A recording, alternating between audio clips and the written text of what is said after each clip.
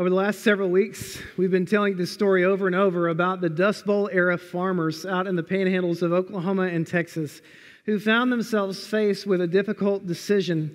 Um, years of drought had, had left them down to the last little bit of wheat seed that they had left, and they had to make a decision between either using that seed to feed their families or sowing that seed into their fields in hopes of reaping a harvest. And thankfully, many of those families chose to sow what they had out into their fields. And in 1939, uh, the rains came and a great harvest was reaped. And it, it, it, enabled them not only to feed their families, but also to save their farms and ultimately to secure their future. And that those farmers who chose, uh, rather than to keep and to hang on to what they had, uh, they chose to sow it out into their fields, they were able to actually help other people and to share that with other people who were in need. Uh, here's my contention for us as believers in Jesus Christ as a church. God has been so good to us. We get to enjoy the riches of His kindness, the blessings of being citizens of His kingdom. Like, God has been so good to us, and we have a decision that we have to make as a church.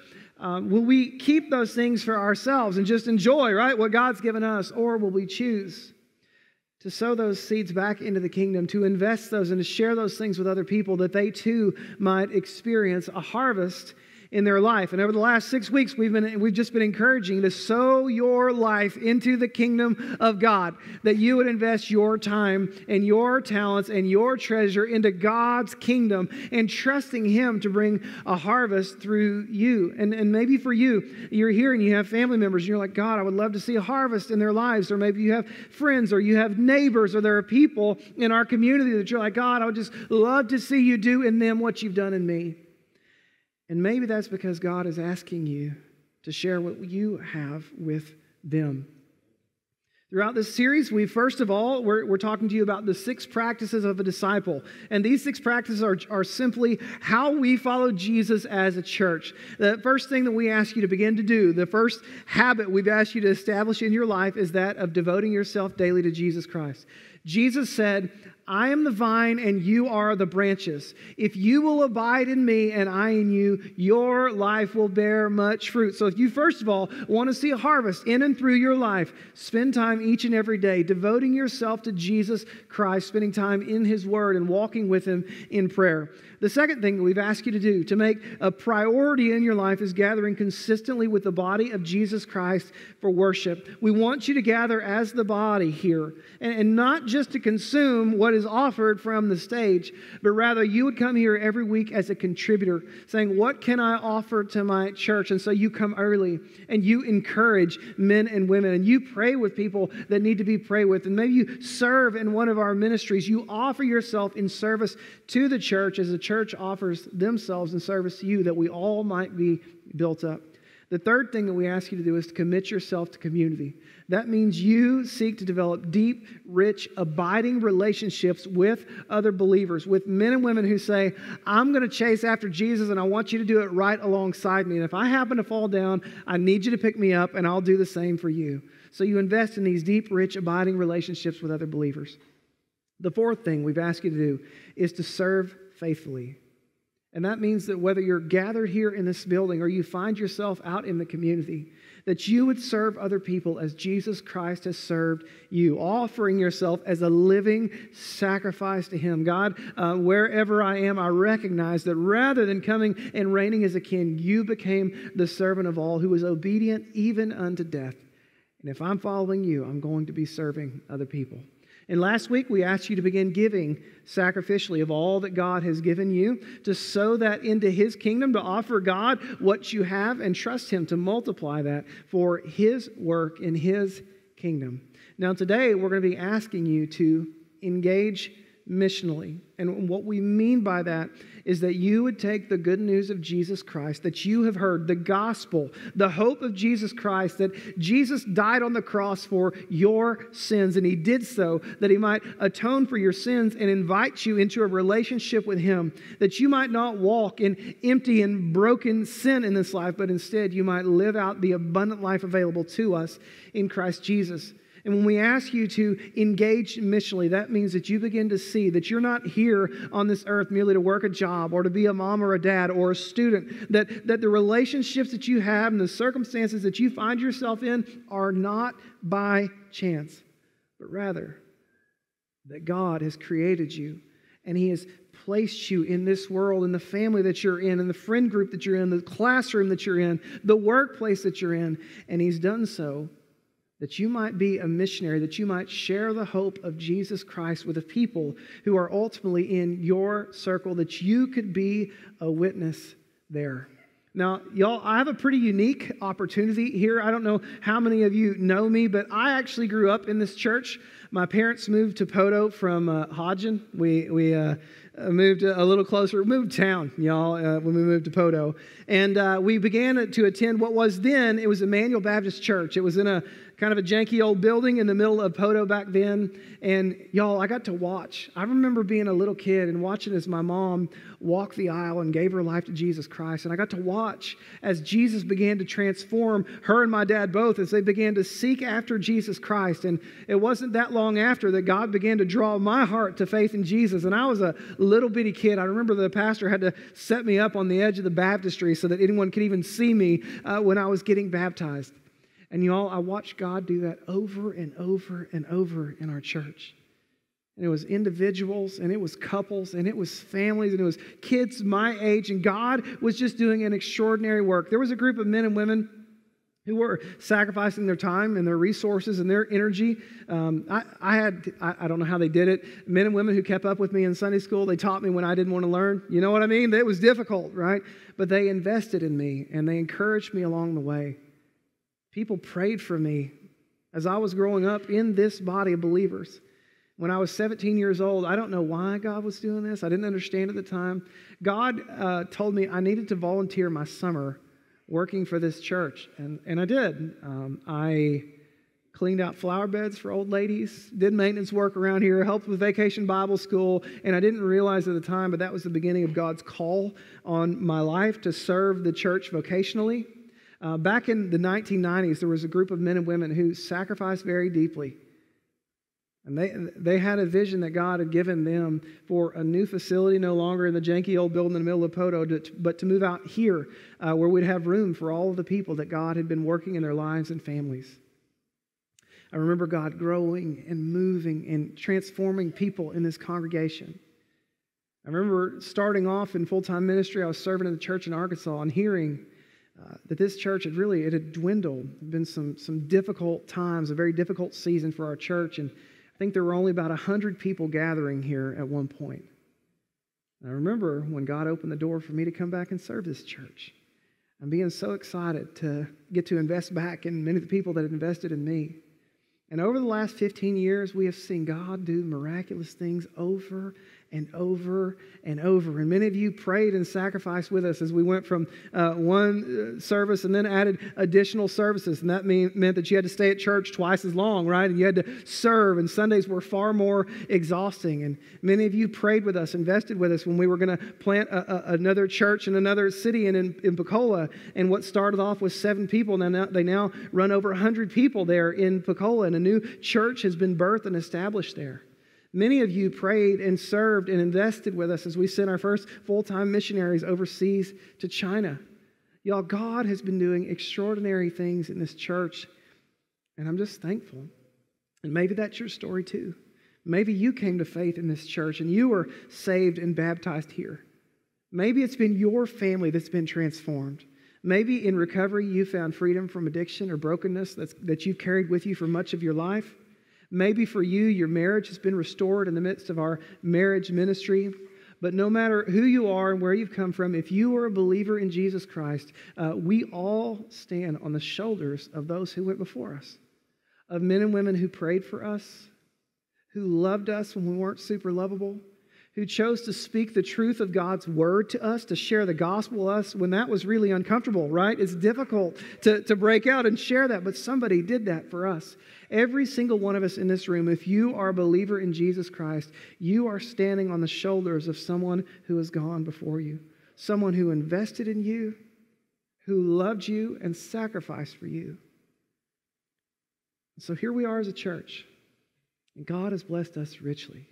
And we have experienced a harvest here. And the question I want to ask you is what are we going to do with what God's given to us? Previous generations took what they had and they offered it to God. They invested their lives into the kingdom. And we get to celebrate today what God has done. So, again, the question what are we going to do with what God has given to us? Are we going to take it and keep it for ourselves? Or are we going to sow back into God's kingdom and pray for an even greater harvest? You know how it works in, in the harvest field, right? The more seed that you sow, uh, the more plants are going to grow up, and ultimately, the, the greater the harvest is going to be reaped. Uh, church, I believe that God has given us much, and there is an opportunity here to see God do things that are beyond what we could even imagine. Again, the question what will we do with what God has given to us? In Hebrews chapter 11, the writer of Hebrews takes us through, if you've read much of the Old Testament, um, he takes us through what's known as the Hall of Faith.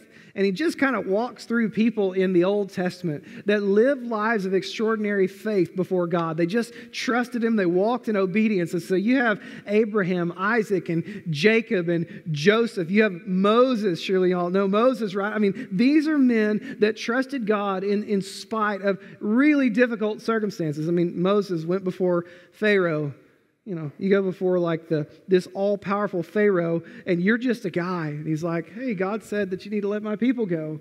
There's no way that was going to happen, right? But then God did this extraordinary miracle and he leads his people out of slavery in Egypt across the, the sea on dry land. I mean, it was extraordinary what God did. And as you read throughout uh, Hebrews chapter 11, it's story after story after story of men and women who followed God in faith and God did extraordinary things. Now, not all of those people got to see all of the benefits of their faithfulness before God. I mean, some of them died before they got to experience it. Moses died in the wilderness before he saw the promised land. But woman after woman and man after man, they followed Jesus in faith, and God did extraordinary things. And y'all, we have an even greater story than they had in Hebrews chapter 11. Because not only do we have the, the saints of old, right, of the Old Testament, I mean, we have the people who've invested in our lives. And we've seen the outcome of their way of life, of their faith, and their investment in the kingdom. We've got to experience that in and of ourselves. So in Hebrews chapter 12, in verse 1, the writer says, Therefore, remember all those people who have gone before us, and you've seen their way of life and you've seen how God used them in extraordinary ways, how they followed Jesus in faith, even when they didn't know how it was going to turn out. He says, Therefore, since we are surrounded by so great a cloud of witnesses, let us also lay aside every weight and the sin which so, so closely, I'm sorry, which clings so closely, and let us run with endurance the race that is set before us, looking to Jesus, the founder and perfecter of our faith, who for the joy that was set before him endured the cross despising the shame, and is seated at the right hand of the throne of God. Today, I want to talk to you about what it looks like for us to engage missionally and to invest our lives in order to see a future harvest. What would it look like for us to invest in the next generation as the prior one did for us? So, here in this passage, the, the first thing that I want you to see if we are going to run the race that God has marked out for us and be the people that God has called us to be, if we are going to live those extraordinary lives of faith where we see God work through us and produce a great harvest among our church and in our community and hopefully around the world, if we're going to do that, the first thing we've got to do is watch that we don't get weighed down. How do we engage missionally, invest to see a future harvest? Number one, we lay aside every weight. I don't know about you, um, when I think about running, I actually talked to Josh Schneider this morning, and he told me he ran 50 miles yesterday. I thought he was talking about biking. Uh, but he ran 50 miles in the rain yesterday. And I, as I think about that, I'm like, man, there's just no way. I'm never going to run 50 miles. I'm not sure I even want to. Uh, but just, can I be honest with you a little bit? I've gained a few pounds since I was 17, 18, 19 years old. And running is a lot harder than it used to be when you pack on a little bit of extra weight, and it doesn't even take a lot, I mean, you, you tend to wear out a lot more quickly. It makes it much harder to overcome the hills and the terrain and the obstacles, you know. As the writer of Hebrews calls on us to think about what it looks like to run our race with endurance, he's like, number one, you got to lay aside the things that are holding you back. And there are things that we're carrying through our lives that are going to keep us from, from accomplishing and running in the way that God wants us to run. I don't know about you, but if I've got a race to run, I'm not carrying anything I don't need. And he anticipates what those are going to be. The first one that he tells us about, the first thing that maybe in your life that's going to hold you back or cause you to stumble or maybe even cause you a great deal of pain as you attempt to run the race that God has for you, is just those things that you know are overtly sinful the sinful tendencies in your life. You need to know that we have an enemy in this life, the devil, right? And he is here, he's seeking to steal, kill, and to destroy. Rather than you running the race that God has marked out for you and experiencing the joy of walking in faithfulness for your whole life, the enemy wants to trip you up. And he does so in a rather alluring way. He doesn't usually come to you be like, hey, you know, I, I become a filthy sinner, right? Like, go ruin your life. Like, he doesn't do that. But instead, he entices us with things that look pretty good. Things that, hmm, that might even enrich my life. You know what I mean? Y'all ever, I'm a, I'm a guy, um, and I don't gossip a ton, but sometimes it feels kind of good to hear the, the, little juicy tidbits about people. You know what I'm saying? You're like, oh man, I kind of want to hear that. Like, Maybe it's someone that's made you mad. You're like, oh, yes, they're struggling or something. Not that that's the righteous approach, but it's how we are. We have a tendency to think, oh, I need to hear that thing. I need to look at that thing. It's going to make me feel better. It's going to enrich my life. And that's what the enemy does. He convinces us that the very things that are going to destroy us are going to make us better, they're going to enrich our life. Uh, several years ago, I heard Craig Groeschel tell a story. He was at a, at a conference speaking he was talking about studying at home, and he has a bunch of kids. And um, it was one of those days, if you have kids, you know how this goes. Uh, they were just in and out, in and out, like always needing something from him, and he's not getting much work done there in his office. And so he tells his son, he's like, hey, I need you to go outside and play. You know, like our parents did to us, they lock us out until dark. So he sends his kid outside to play, and um, things are going well. He's getting some work done. But then, as, as a parent, you have this sense in which, things get quiet and you're like, oh, this could be bad. Like they're too quiet, something's going wrong. Um, but as he listens, he hears his, his young son say, My friend, my friend. And he's like, oh, cool, you know, met a neighbor kid, that's great, you know, hopefully things will go well there. But then he hears the front door open and, my friend, my friend, you know. He's like, I guess I need to go meet this child who's now in my house. You know, it's a neighbor kid. I should probably go introduce myself. And as he walks out of his office where he was studying there, he does not see his child with a neighbor kid, but instead, his son had actually found a snake outside and he'd picked it up and brought it in and was like, Hey, dad, my friend, my friend. And upon closer inspection, his young son had picked up a juvenile rattlesnake and had brought it into the middle of his living room. And he thinks that it's his, his friend. And so he's going, Hey, did you put that down? You know, and then they got to get it out of their house in some way. And by the grace of God, the kid did not get bit by the rattlesnake because that obviously that would have made for a horrible sermon illustration. But anyway, uh, he, he was okay. And many of us, that's the way Satan operates in our life. He convinces us that something that is really for our destruction is our friend. And we carry those things with us like we need them, like they provide us something, when in reality, they're only there to bring destruction in our lives. And maybe for you, that's an addiction. Maybe for you, it's like it's greed or it's the pursuit of money or material things, and you think, these things are going to make me happy. When in reality, the enemy wants to use them to destroy your life.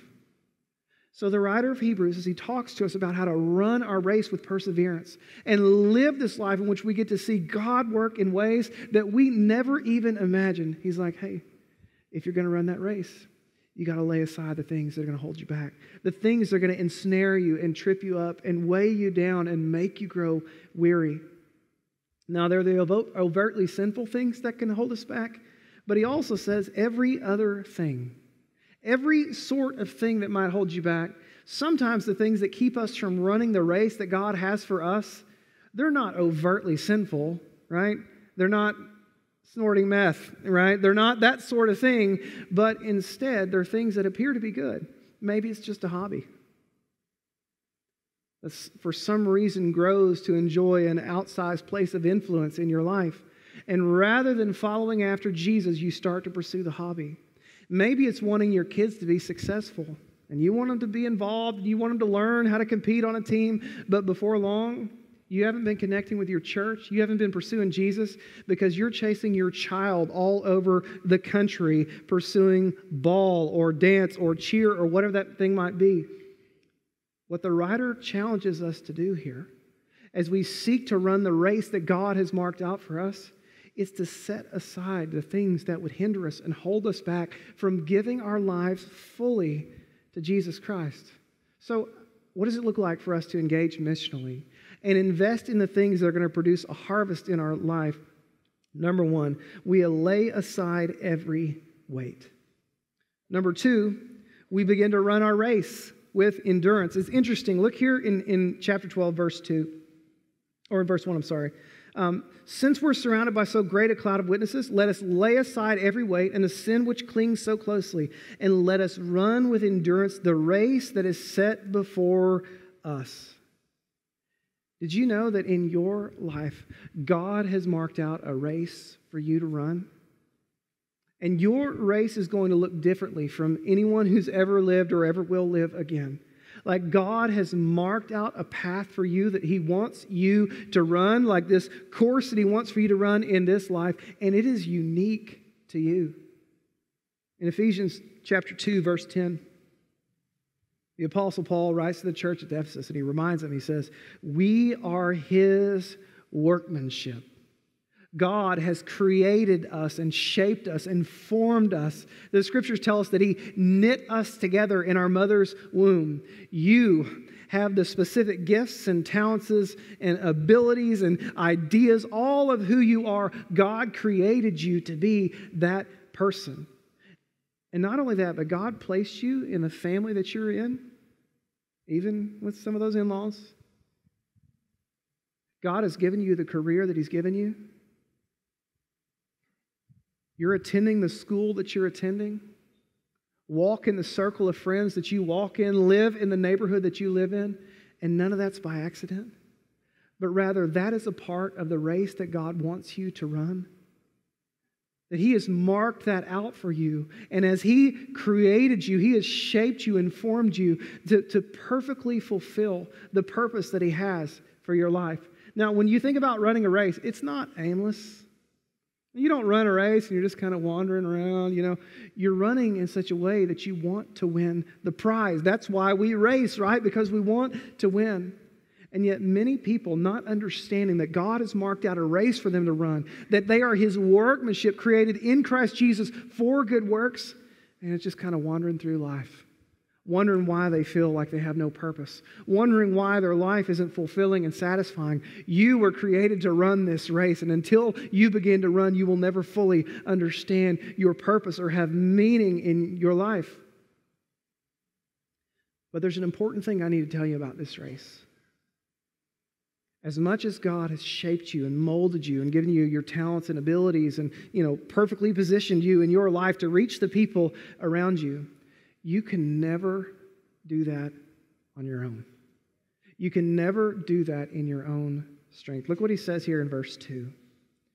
Let us run with endurance the race that is set before us, looking to Jesus, the founder and the perfecter of our faith.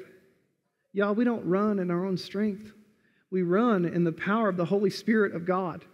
In, in, uh, just before Jesus ascended into heaven, He'd just gone to the cross. He died on the cross for the sins of the world. He'd risen again on the third day. He gathers his disciples together on top of the mountain there outside of Jerusalem. And he says, um, Hey, I don't want you guys to go and, and do much. I want you to wait right here in Jerusalem. And don't go, don't go try to run your race. Peter, don't try to preach on the day of Pentecost. And don't try to be my witnesses here and there and everywhere. Don't try to stand in your own strength, but I want you to wait. And when the Holy Spirit comes upon you, you will receive my power. And you will be my witnesses in Jerusalem and Judea and Samaria, even to the ends of the earth. And those disciples, all of whom had deserted Jesus when he got arrested just a few weeks before, when the Holy Spirit came upon them with power, they were his bold witnesses anywhere that God might send them. As a matter of fact, um, all of the apostles except for one would ultimately die as martyrs for their faith. Men who had just denied Jesus became strengthened and empowered to die as martyrs because of the Holy Spirit. So, as you think about the life that God has called you to live, the race that He's called you to run, don't try to do it on your own. Instead, do it in the power of Jesus Christ. There was no one as perfectly positioned or gifted or talented or, or skilled. There is no one so perfectly positioned to reach the people in your circle as you are. But you can't do it in your own strength. You do it in the power of the Holy Spirit. So, how do we engage missionally and invest to see a future harvest? We lay aside those things that are going to weigh us down. We begin to run our race with endurance, fixing our eyes on Jesus. And the third thing is we anticipate the prize before us. Look what it says here in, in verse 2. Looking to Jesus, the founder and the perfecter of our faith, who for the joy that was set before him endured the cross, despising the shame, and is seated at the right hand of the throne of God. Y'all, when I think about being abandoned by all of your closest friends, being falsely accused in the home of the high priest. They took turns spitting in his face and mocking him, striking him. Oh, you're a prophet. Why don't you tell us who hit you? He was beaten beyond recognition, stripped naked, a crown of thorns driven into his skull, stretched out his arms there on the cross, they drove the nails through his wrists and his ankles. And there on the cross, Jesus died an agonizing death. And if I'm being honest, none of that sounds like joy to me. And yet, Jesus could endure the cross for the joy set before him because he understood the prize because he understood what he was accomplishing. That Jesus Christ loved you. And Jesus Christ loved me enough to, have, to joyfully endure the cross. That we wouldn't have to die for our sins, but instead we could live a full and abundant life in Him, that we could be reconciled to God. Jesus joyfully went to the cross. He knew your name, He knew the number of hairs on your head, he knew all of your mistakes and your failures, your weaknesses. He knew that you would rebel against Him, that you and I would not always represent Him very well. As a matter of fact, we would totally blow it at times, bring shame on the name of God. And yet, in love and with joy in His heart, He died on the cross for you, that you might find new life in Him. And just as Jesus could have joy in suffering on the cross, you and I can endure difficulties as we run our race, even when it's time to suffer. We can endure those difficult times with joy in our hearts because we're looking ahead to the harvest. For those Dust Bowl era farmers to take what little wheat seed they had, and rather than using it to feed their families, they sowed it into their field. They did so in a hope that more would be produced in the end, that they would see a harvest that would not only feed their families, but would also save their farms and secure their futures. And for you and I, we joyfully endure whatever it is that is in our path as we run the race that Jesus has marked out for us because we're looking forward to a harvest. And for you, maybe it's just an ongoing prayer for that person in your life that God has placed in your family or in your friend group or in your, you know, your office suite that you're saying, God, would you do something in them? God, would you use me, little old me, right? Would you use me to, to sow seeds of the gospel in their life that might bear fruit? And not just in them, but that families could be transformed, that generations could be reshaped, that maybe even this community could be different because you used me as I ran my race, offering myself, saying, God, I want to engage in mission. I want to run the race that you've marked out for me. And God, I look ahead to the prize. What does it look like for us to invest to see a harvest? We throw off the things that weigh us down. We begin to run our race with endurance. And we joyfully anticipate the prize before us. We serve a God who gave his life for us, who joyfully endured the cross that we might find new life. if we're following Jesus, we too run the race that He's marked out for us, offering ourselves in service to Him and anticipate what He might do in and through our lives. Would you bow with me? Father, again, we thank you for your word. We thank you for Jesus and the sacrifice that he offered up on the cross. That for men and women like me, who sinned against you, who have blown it in, in more ways than I can even count, men and women who had nothing to offer you, Father, that you died for us, demonstrating how profound your divine love is for each of us. Lord, I pray for the person who's here today that doesn't know you. I pray that today would be the day of salvation, the day that they see how much you love them, the day that they follow you in faith.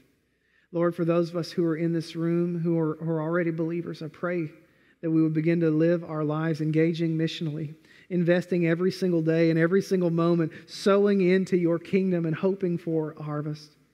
God, would you use us for your glory in our community? And I pray it in Jesus' name. Amen.